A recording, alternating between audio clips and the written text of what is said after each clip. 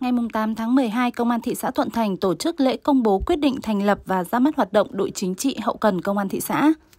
Tại buổi lễ, lãnh đạo Công an thị xã Thuận Thành đã trao quyết định thành lập đội chính trị hậu cần Công an thị xã và quyết định điều động cán bộ. Theo đó, đội chính trị hậu cần Công an thị xã gồm 7 cán bộ chiến sĩ và 3 nhân viên lao động hợp đồng. Đội có nhiệm vụ tham mưu cho Đảng ủy, lãnh đạo Công an thị xã tổ chức thực hiện công tác đảng, công tác xây dựng lực lượng, công tác hậu cần kỹ thuật, tài chính của đơn vị theo quy định của Bộ Công an.